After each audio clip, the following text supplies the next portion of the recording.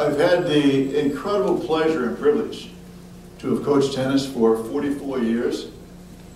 A couple of those were in high school, typical driver training, sex education, football, tennis.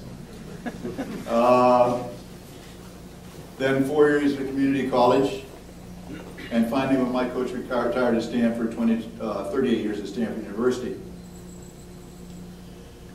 44 different teams. Every one of these teams has been different. Good things, bad things. And as I look back, I try to put together from all these different parts what I would consider to be my ideal team. What kind of a team would this be? The kind of team we never really ever have, although I came pretty close to it one year. And I think further on how I might describe this team in terms of other teams, our family team, our business team, and how it even could apply to us as we go on living our lives as individuals. I'm going to touch on three areas. The first of these would be the personality traits of this ideal team.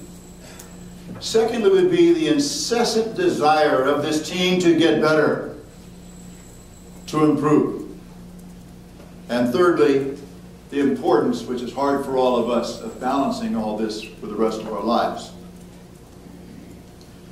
First, the personality traits. This ideal team would include teammates who are, there, who are energetic and they're up. They walk tall and they walk with a bounce. They look you in the eye. They recognize the power of a smile and the sunshine it spreads to all in the room and all in the area. They get excited about today. It's raining out, it's cold. They get in that shower and they're singing zippity doo dah, zippity My oh my, what a wonderful day. They dream big, but they take responsibilities for their dreams. They take pride in how they appear. Their grooming, their dress, their cleanliness. And they are positive. Absolutely no complaints. No procrastinations. No alibis. They let their racket speak. They just do it. This ideal team has a personality that is proud of what it is. It also exhibits humility. It values dignity and class, especially when it fails. It earns credibility. It earns the trust of others. And it lives by the golden rule.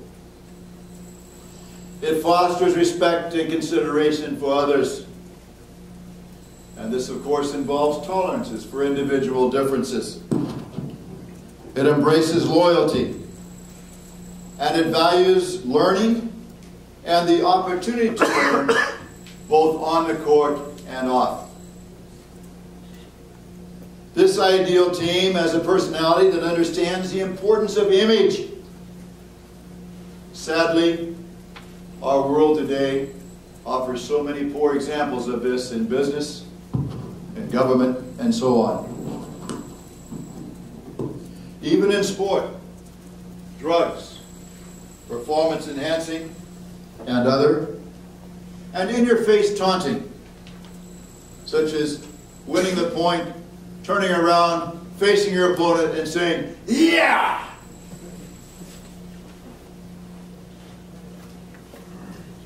Not only as competitors, however, in our world, also as spectators.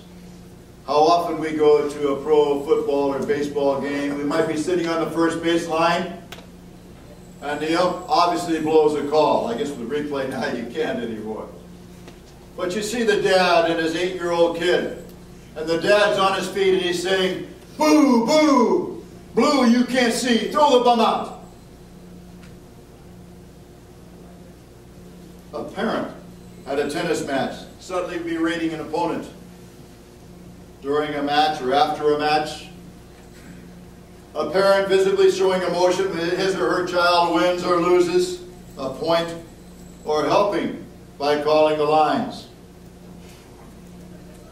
How positive then, and how important are those positive examples? I think of Derek Jeter, former Sports Illustrated Sportsman of the Year, New York Yankees. I think of Drew Brees and all he meant to New Orleans after Katrina struck. And mostly, I think of Roger Federer and Rafael Nadal. And we could not have a better example in sport than those two in our own sport.